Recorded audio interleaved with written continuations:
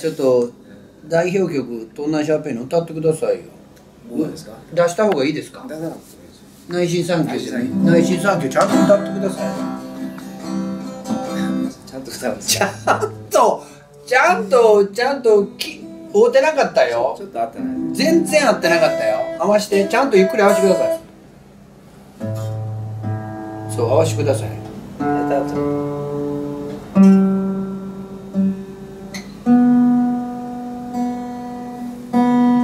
ン・レノンはねジョン・レノンは大体3弦ぐらいをちょっと変えてるらしい。そうなんよレコードにした時自分のチューニングがずれてる方があのおばちゃんとか聞いた時にねうん。俺のギターだって分かるだろうからわざとチューニングずらしてんだはいはいそんなんそんなん好きでしょ。そんなんそんなんそんなんこれ見てる人はあんまりそう好きちゃうかもしれんから歌ってください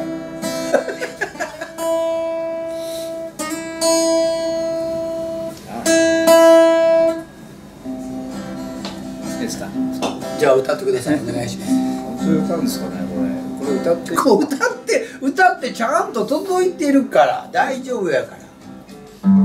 何で歌いましょいや何でもいいですよ。別に内心産業内心産業なくてもいいですよ。うイエスタデー。いいですか？いやじゃあイエスタで歌ってください。ちゃんと歌ってください。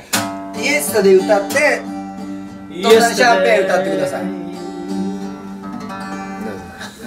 ほら途中でやめるのやめてくれますか？すかねちゃんとあのトンナンシャペじゃあ歌ってくれますか？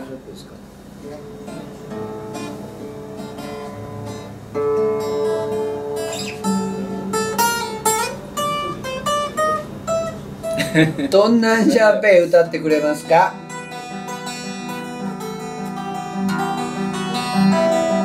もうねこう YouTube 見てる人ねチャンネル変えてるでも。そうか。チャンネルね。変えられました。チャンネルちょっと歌ってくれますか？トンナンシャーペン本当歌ってくださいよ。譜面出すのはここありますからね。何でもいいですよ。好きなじゃあ歌っていいなと思う歌を歌ってください。歌いにくいですか？こういう喋ったら。好きなのはね、はい。シャドーダンシングっていう。そのそんなシャドーダンシング歌ってください。じゃシャドーダンシング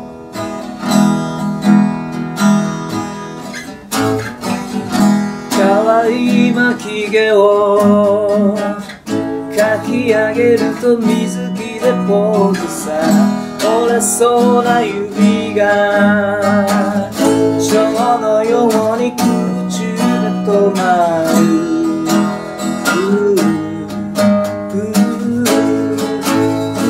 夏の眠る雪混じりの波。消そう。海沿いの道を。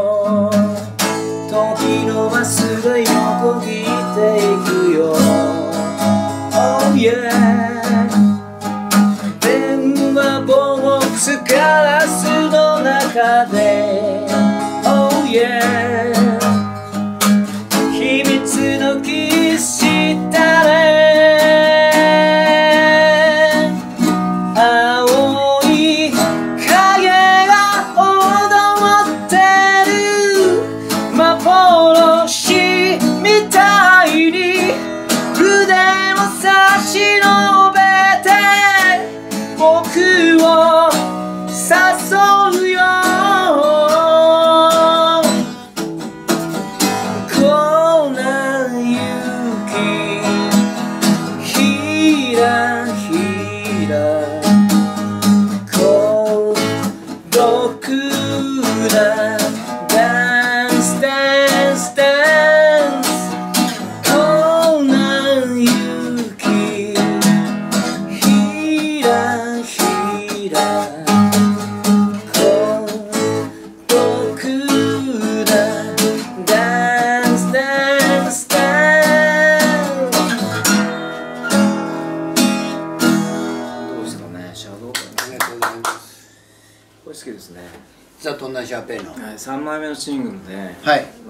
トの涙とカップリングが、まうん、マルネット涙は松田聖子さんのアルバムの、はい。ですねうん、提供した。当時ですから松田聖子さんのアルバムの方がマリオネットの涙の方が先に、まあ、市場に出出てまして、うん。聖子さんのレコードがね、うん。すごい売れて300万枚ぐらい売れたのすごい売れたでしょあの LP は。聖子さんの歴代のレコードの中で一番売れたんですね。それで松本隆さんが僕のとこ来て、はい。あの君のためにあの詩書いたんだからねマリオネットの涙。君が歌いなさいよトンナンシャペーでって言うんですよ。松本隆さんがしなさいよシングルにって言うんですよ。うん。で日本中で300万人が聴いてんだからね。そういう君たち歌ったらヒットするよなんて言うんですよ。はい。断ったんですよ。なんで断るんですか？そんなそんなチャンスをだね。聖子さんが歌った曲をねとっても歌い最初と一緒ですよ。やはり既成の曲をもうね歌いたくないんですよ。ですからだったら君たちもっといい曲作んなさいよなんて言われてうん。それで作ったのがシャトーダンシング当時ね住んでた家とかね家の部屋とかね、うん。これ作った時のことすごく覚えてますね。なんかもう昨日のことのようにもう覚えてますね。それ今も変わってないんですか？既成の歌を歌うのはいや。サザンの曲は歌うやん。ビートルズの曲は歌うやん。うん。それどう何が違うのかちょっとあれですけど、うん。好きですけどね歌謡曲と今。例えばですけど中学生の頃とか、うん。グループサウンドの曲とかき初めて聴いてね、うん。昔の60年代の曲を79年とか80年代に聴いて、うん。すごいうわこれまずいなと思ったんですよ、うん。これはないなと思ったんですよ、はい。あのあるいは70年代80年代になると70年代とかそれ以前のものちょっと受け入れられないかったじゃないですか。なんか年代的に時代ね的に、なんか古いなとかかっこ悪いなとかね。恥ずかしいなとか。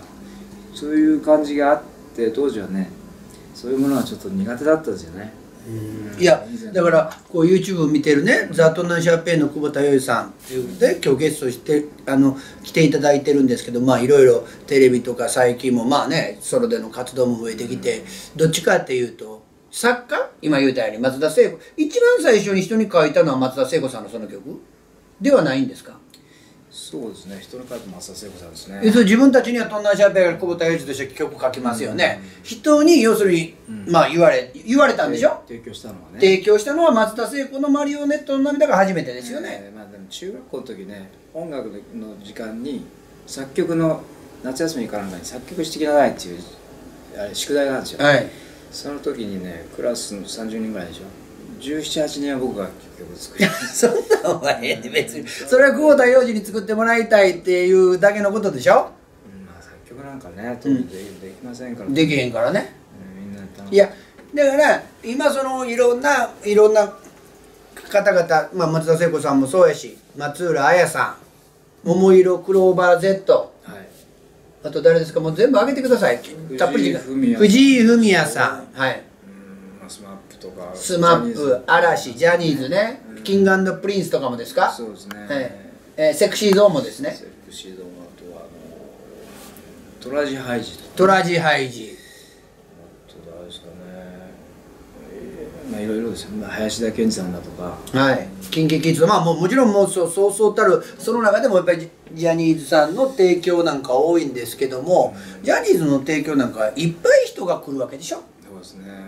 そうでしょ？うんそんなプレゼンツっていっぱい来るわけですから。ですね。でね途中あのスマップやらせていただくようになってからですね、うんあの歌詞を書きなさい君はって言われたんですよ。はい。どどっちが好きなの？作曲と作詞。どっちも好きですよ。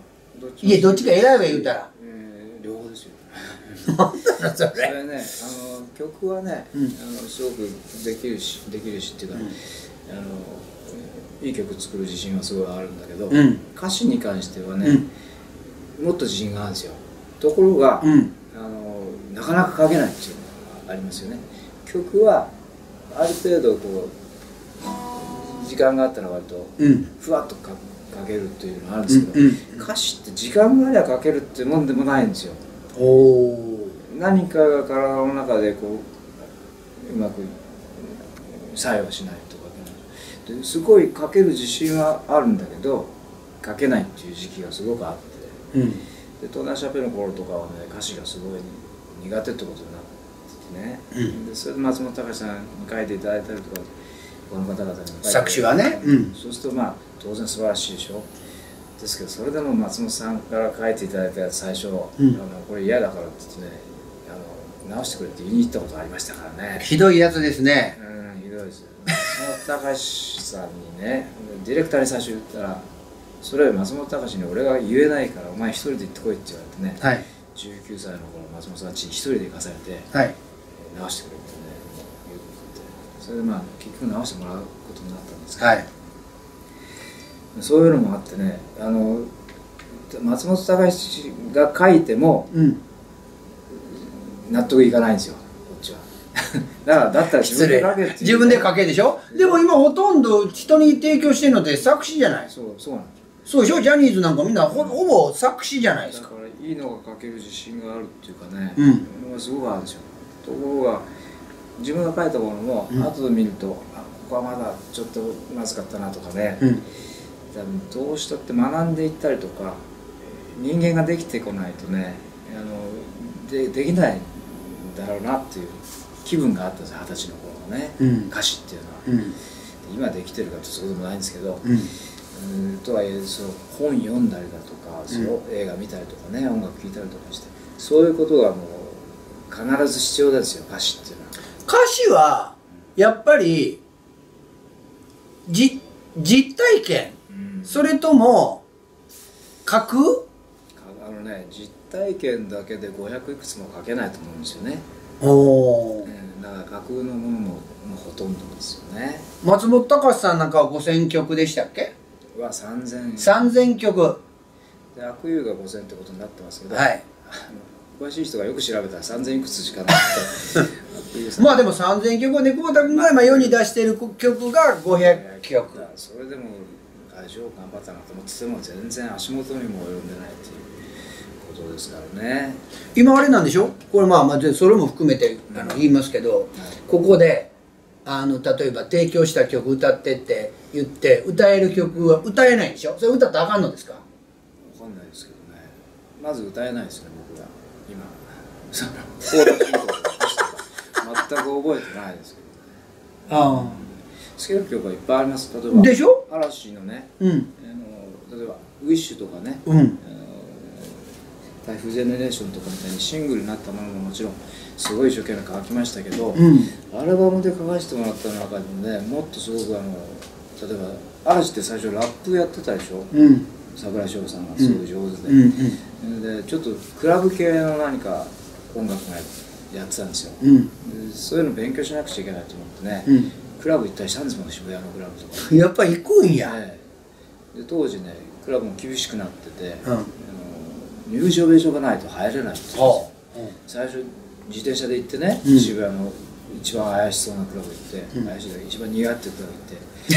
いいんだよ怪しいのでそうするとね、あの黒人の方が、うん。大きい方がね、前でこうやってなんかなんていうのあれ。チェックしてんの、うん。ボディーガードみたいなね、うんででうん身分証とか言うんですよ、うん、あどうすればいい身分すみません持ってませんね身分証とかだとか言われるんですよ、うん。だから帰家も帰帰ってね保険証持ってね、うん。また行ったんですよ、うん。あ保険証写真ついてなかった僕ね写真ついてる身分証その時は免許証持ってなかったからね、なないんですちょうどパスポートも切れてたしね、うん。ないんですよ。だんだんとか言われてし何件か当たったんですよ、はいはい。そうするとちょっとさらにちょっと怪し怪しいとこ行ったらしょうがないなって入れ入れてくれるとこあってね、うんそういうとこに行って朝までね粘ってみたりとかね何も起こりませんけど。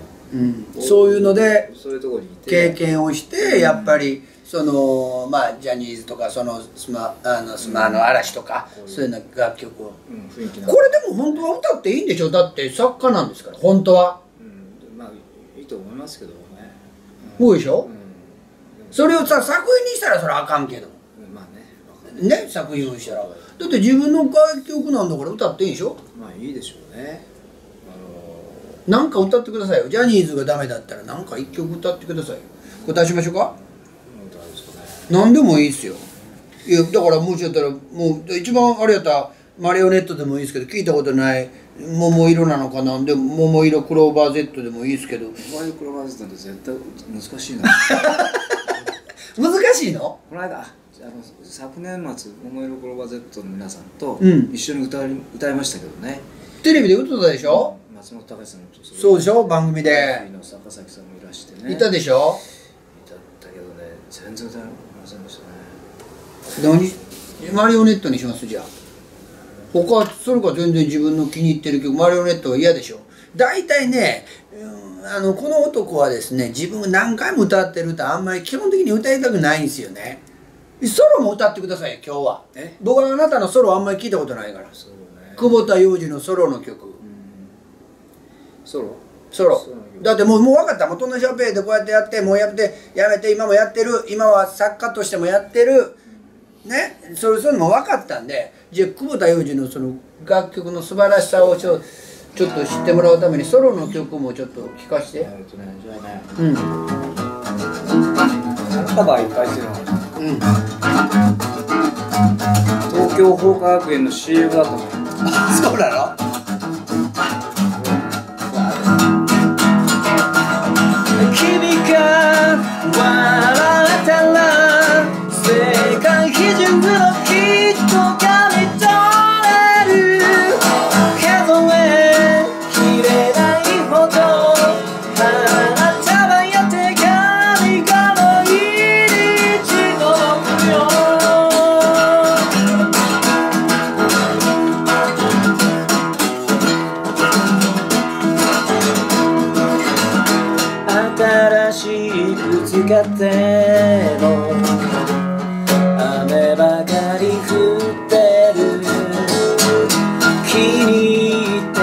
傘は。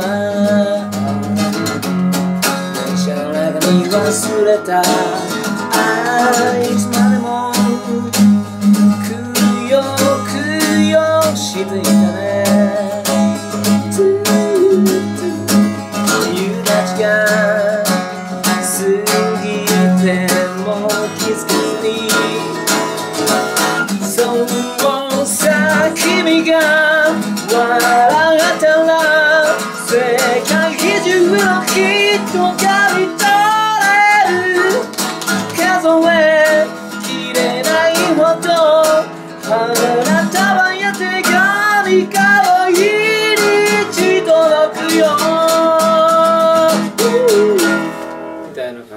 ねもうしんどいんですよ歌うと何がしんどいの？これをやってた頃は、はい。えー、と桜井和寿さんのミスチルの、はい。と加藤泉さん好きになってよかった、はい。と僕と3人でねテレビの番組やってたんですよ、えー。それは久保田洋二もうトンネシャペやめた後ソロの時、うん。それでこういうのでやったりとかしたんですけど、えーあの桜井さんのことはさくちゃんと呼んでてね、うん。加藤泉さんのことは加藤ちゃんと呼んでて、うん。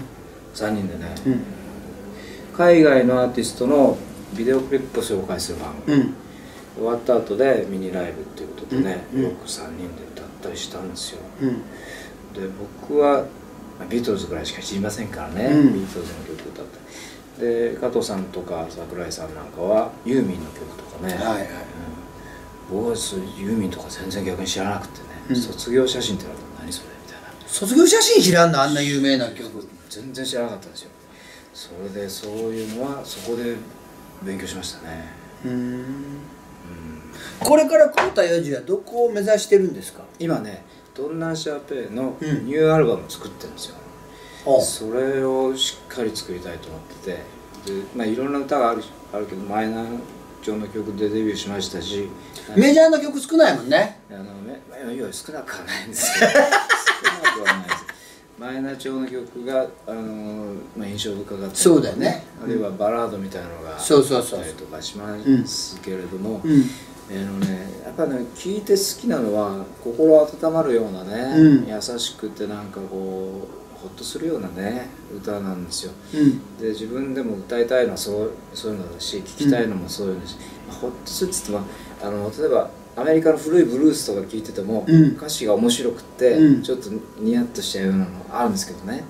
あのなんかそういうか聴いた後でうん。楽しい気持ちだとか、よかったな聴聴いてよかったなこの曲みたいな。こういう感じに生きていきたいなみたいな感じになるようなね曲を？歌を作りたいと。これから。で我々も弱い今年ね、うん。54でしょ？うん。でそういう人たちが何何を歌ってたかなとかね、うん。我々の先輩、まあ、ササザンとかビートルズももちろんいるけれど、そんなね50代半ばで、うん。えー作ったような歌をねもうね聞いてきてないような気がするんですよ僕、うん。えービートルズなんて20代で解散してますしね、うん。うん。ジョン・レノンなんて40で死んでますから、うん。あのまあなので今自分で日本にいてねこういう状況の中でなんかいろいろ頑張って作っててね、うん。何を歌うん。だろうなっていうことをすごく考えてるでしょ、ううん。だとすると、えー優しくて温かくてほっとしてねみん。な来てよかったななん。て思えるような曲をうん。それ今とん。なシャーペで作ってるの作ってなん。か一節ワンフレーズぐらい聞けるのはないのないですまだないのないですないです、うん、すごい頑張ってるん。ですけどね、うん、例えば1小節の中で音符が例えば8つだか16個か出てくるとするじゃないですか、1小節その一個一個すごく調べままくって、うん。重箱すすそう重箱をす隅つんでねこの重男は箱すみえもんっていうんですけどその1小節がうん。全部で1曲にすると120小10小節あるんですよね、はその音を全部ですよ。でトラック数でいうと例えば16とかうん。20とかあるんですよね、あうん。で10 4 20かける160かける、はいはい。かける16とかいくつになるわけですよ。うん。こうするともうもうね天文学的な数字。それを一個一個一個一個でですよ。なら直したり。直してしてる。うん。直したりとか。どうやったらもっとよくなる。かぜ弾いてを一回でうまく弾けるわけじゃなくて、うん。僕なんか下手ですからあの100テイクぐらい行く時結構あるんですよギターの。2小節ぐらいギター弾くのに？ねそれが2小節1小節ぐらいのフレーズをうん。弾くのに100テイク取る時結構あるんですよこれこれだけのそれをそれを弾けなくて。今弾けてるような気がするでしょ、うん。ところがバンドに合わせてやってるとちょっとずれてたりとか、うん。音が悪かったりとかね。完璧主義やもんな。あそうです完璧主義なんですよ久保田洋二は。だからねものすごい練習してくるんですよだから完璧主義なんでちょちょちょっとやってっていうのはやらない。最後にじゃあじゃあこれだけいいですか？やりましょうか。これいいですか？はい。じゃあ。イントロからいきます？いやいや別にいきなりでもいいですよ。全然いいですよ。じゃあ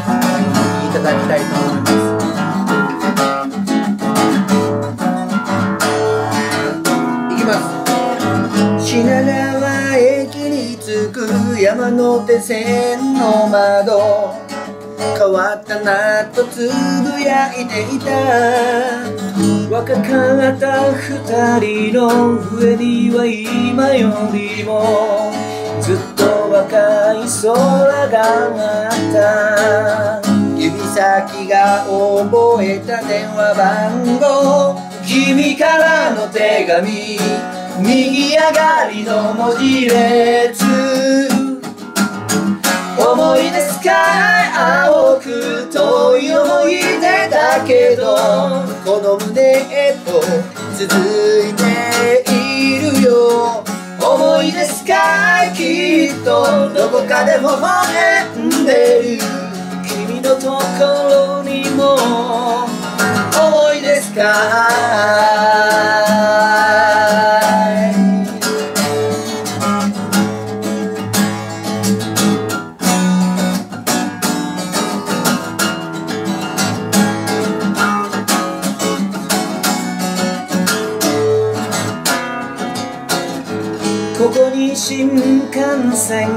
止まるってことにまだ不思議な気がしてしまうよ。あの頃とは違う世界に間違って一人迷い込んだみたいだ。芯の強そうなその眼差しでバレリーナのように静かに立っていたね。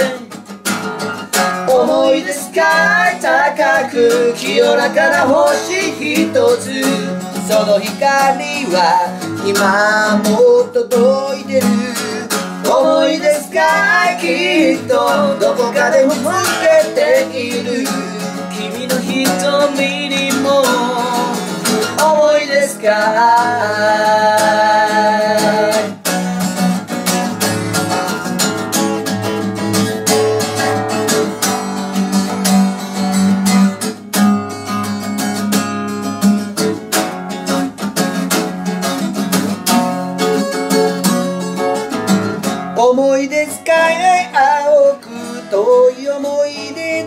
けどこの胸へと続いているよ。思い出使い高く清らかな星一つ。その光は今も届いてる。思い出使いきっとどこかで見つけている。君の瞳にも思いですかよ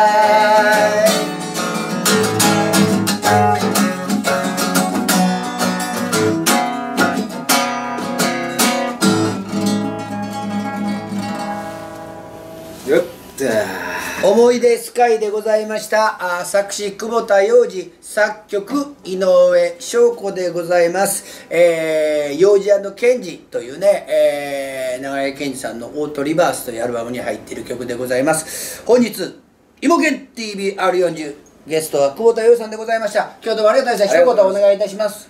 Thank you very much. それしかない。ということで久保田洋さんでございましたバイバイ